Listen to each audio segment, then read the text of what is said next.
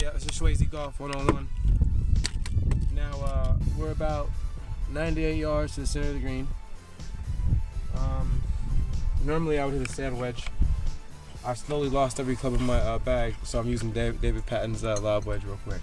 You know what I mean? And you just want to uh, have a smooth swing. That's what you gotta remember, smooth swing. A lot of people try to swing all hard and try to be like, you know, uh, Hulk Hogan, you know what I'm saying? Like David Patton over here, you know what I'm saying? You just gotta go slow. Nana, watch out! I don't want to kill you, girl. I love you. And here we go. Oh, when it lobbed so high. Goodness gracious, I shouldn't use a lob wedge.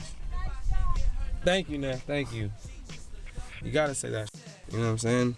Anyway, just swing slowly and softly, and then we'll show you the next shot. We'll show you how to get it into the hole from a close distance.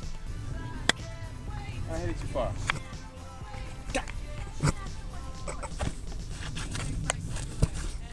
It's all good. You want to hold your composure in golf. You know, it's a sport where you get a lot of emotion, a lot of rage, but you got to be cool.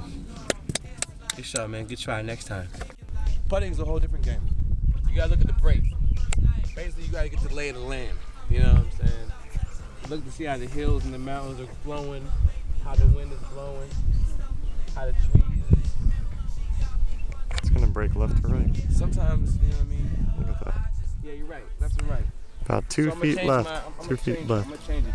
DP, you better be telling me the right information. Try not the curve.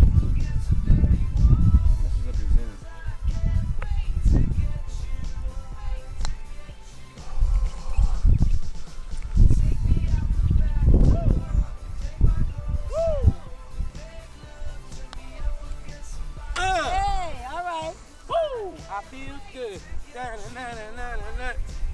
We should start a model golfing school. I'll just teach them.